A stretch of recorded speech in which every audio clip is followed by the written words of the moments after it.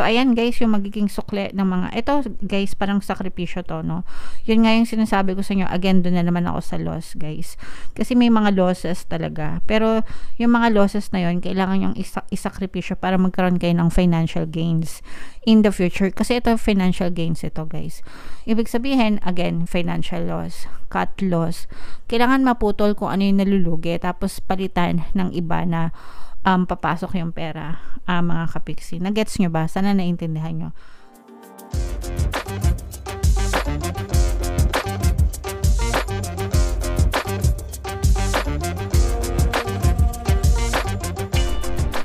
Hello guys, hello Leo. Welcome back to Pinay Pixie Tarot.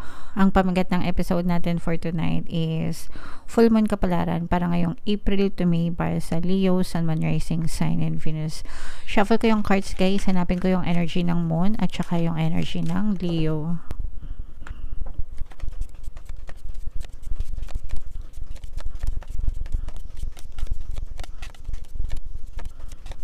So, ito yung energy ng moon, mga kapiksi. Ngayon naman, hanapin natin yung energy ng Leo.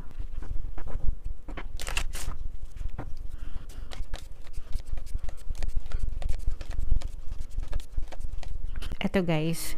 So, Leo, kayo ay represent ng Queen of Swords sa ating spread. Sa deck na to mga kapiksi, ang fire signs ay represent ng swords na suit. So, combination ito guys ng positive and negative energy. General reading ng mga kapiksi, pwede mag-resonate, pwedeng hindi. Yung full moon ngayong April guys ay sa April um, 23 and then yung next na um, full mo naman ay sa May 23. So, ang reading na to ay para sa period na yan, guys. Ito yung combination ng positive, eh, ang, sorry, ang pangalan pala ng ating full moon ngayon ay pink moon, mga kapiksi. So, ito yung combination ng positive and negative energy, guys. Uh, for some of you, meron tayong presence ng water sign dito, Cancer, Pisces, Scorpio. For some of you, maaring may water element kayo sa inyong natal chart. For some of you, you may be dealing with, with a water sign. Parang may sinisave kayo dito, guys parang may sinisave kayo. For some of you, you may be saving a relationship. For some of you guys, you may saving, you, you are trying to save a contract or parang meron kayong sinisave na project, meron kayong sinisave na kung ano man yung sinisave nyo, comment down below mga kapig safe na ka-resonate kayo kung naiintindihan nyo. Parang let's say for example, meron kayong sinisave na trabaho. Kumbaga parang sinisave nyo yung trabaho na yun, ayaw nyong mawala sa inyo, ganyan. Or kung meron kayong sinisave na business, sinisave nyo yung negosyo nyo kahit na um, let's say for example, hindi masyadong maganda yung performance, kahit medyo lagapak na uh, yung business, you're trying to save it, you're trying to revive it, uh, mga kapiksi, okay? And sometimes, guys, okay lang yon Merong mga negosyo na um, okay lang na ipaglaban habang kaya pa. Meron din namang ibang negosyo na kailangan nyo ng isara, tapos parang mag-isip na lang ng iba na pwedeng ulit gawin. Uh, ganun naman yun mga kapiksi. Um, hindi naman natin mapipredict no kasi nagbabago din yung panahon, nagbabago yung trend, ganyan. So, minsan talaga may mga nalulugi and minsan may mga bago na lumalakas. So, kailangan nyo lang maging adaptable, uh, mga kapiksi, kasi baka masyado na kayo nahihirapan. Baka masyadong malaki na yung lugi nyo na kailangan nyo na mag-cut loss, uh, mga kapiksi. Yung, yun yung sinasabi na ano,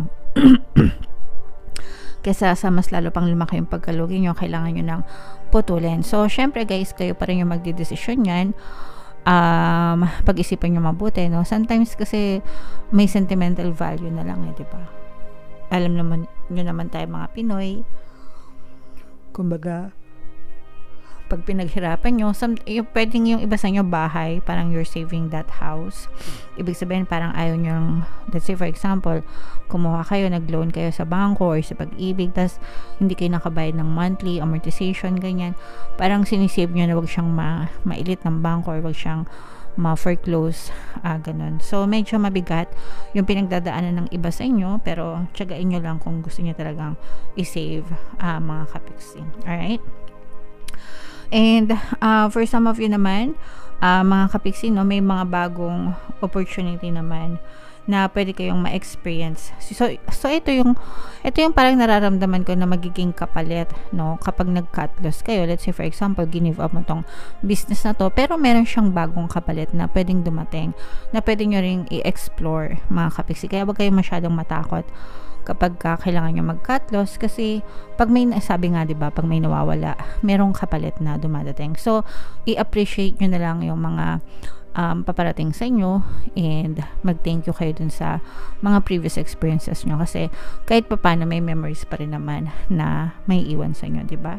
So, don't be afraid, mga kapiksi, to let go of the past para mabigyan kayo ng bagong room of opportunities, okay? So, another presence ng water sign, Cancer, Pisces, Scorpio. So, ayan guys, yung magiging sukle ng mga, ito guys, parang sakripisyo to, no? Yun nga yung sinasabi ko sa inyo, again, doon na naman ako sa loss, guys. Kasi may mga losses talaga. Pero, yung mga losses na yun, kailangan yung isa isakripisyo para magkaroon kayo ng financial gains in the future. Kasi ito, financial gains ito, guys. Ibig sabihin, again, financial loss, cut loss. Kailangan maputol kung ano yung nalulugi, tapos palitan ng iba na um, papasok yung pera, uh, mga kapiksi. Nagets nyo ba? Sana naintindihan nyo. So, let's say, for example, um, sasarado mo na yung negosyo na um, salon, no? Ganyan.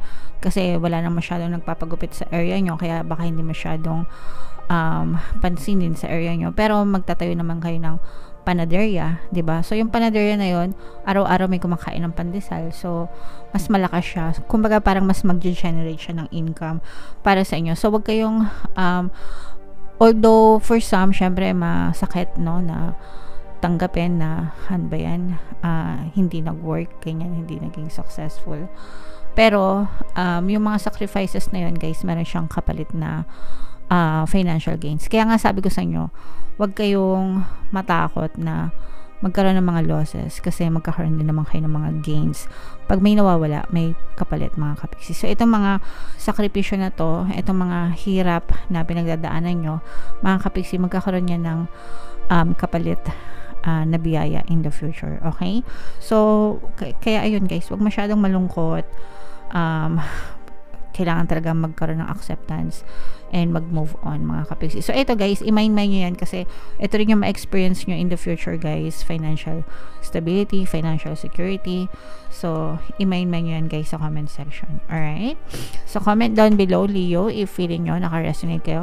Kung trabaho naman yung nawala sa inyo, huwag kayong mag-alala kasi meron din yung kaparet. Sometimes, pag nawawala ng trabaho, kagaya nangyari sa akin, uh, nawalan ako ng trabaho, dalawang trabaho. Nung pandemic yon guys.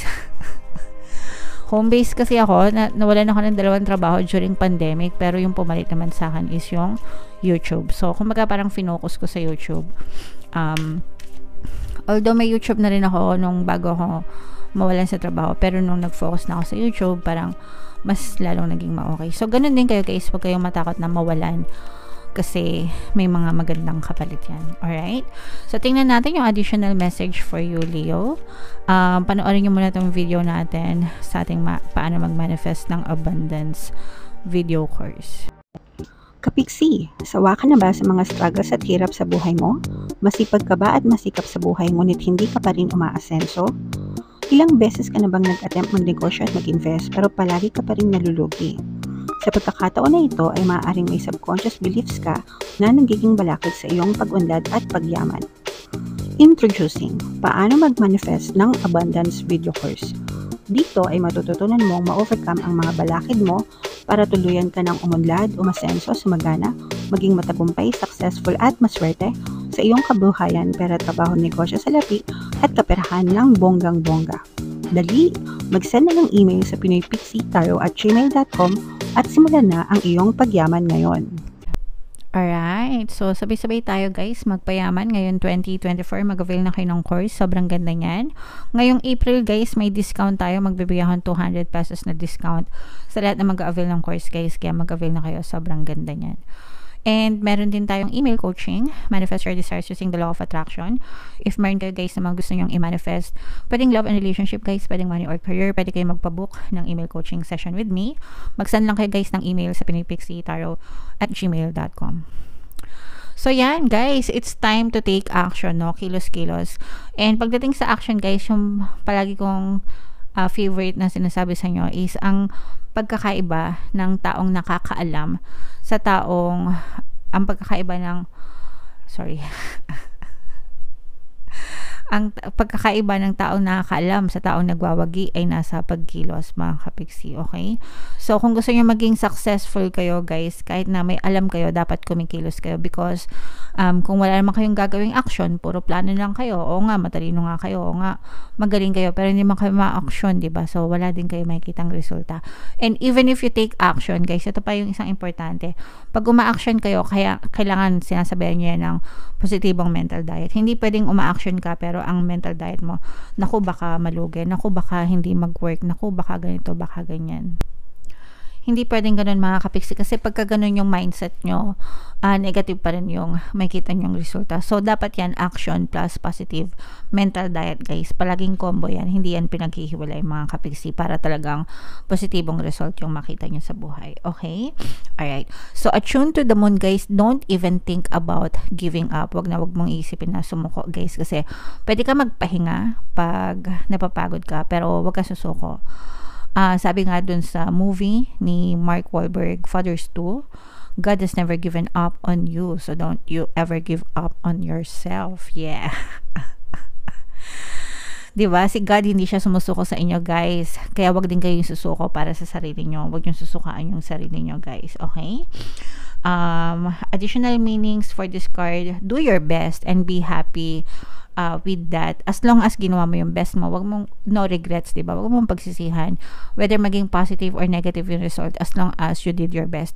Pero guys, sabi ko nga, para positive yung result ng action nyo, dapat sinasabayan nyo ng positive mental diet, okay? And be happy about it hindi ka man agad-agad makakita ng resulta pero if consistent ka sa positibong mental diet mo and positibo ka sa action mo, talagang it will be pushed out in your reality. You will see positive results always, guys, no? Kasi yan yung secret formula, guys, para maging successful. Okay? Um, avoid being brash right now. Huwag kayo masyadong padalos-dalos. Huwag kayo masyadong magpadala sa emosyon nyo, uh, mga kapiksi. You need a 12-month plan for some of you. Kailangan nyo magplano. Mas maganda talaga guys pag may plano. Palagi ko yan, eh, kayo in-encourage no, sa mga uh, datihan na alam na nila yan. Um, super fan ako ng uh, nag, nagpa-plan, goal setting, ganyan um, sa beginning of the year, 'di ba? Kailangan may plan, kailangan may plano para na mo-monitor mo kung may progress ka. Pwede mo siya ikumpara yung buhay mo this year, pwede mo siyang ikumpara last year, last two years ago, 'di ba? Doon mo masasabi kung talagang nagpa-progress ka sa buhay at umaasen. So kaya mas maganda talaga may plano mga kapiksi. And for some of you, a new male, yay! a new male is coming into your life, bagong lalaki, yeah. pwedeng lover, pwedeng kaibigan, pwedeng kakilala, pero some, somebody is coming to you uh, mga kapiksi. Alright?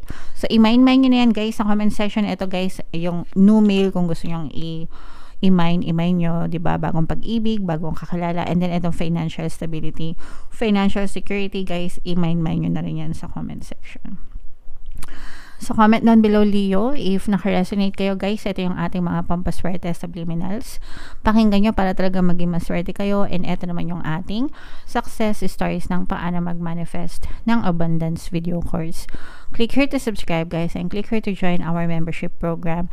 Thank you for liking, sharing, and subscribing, and see you again next time. I love you all. Have a nice day. Bye-bye.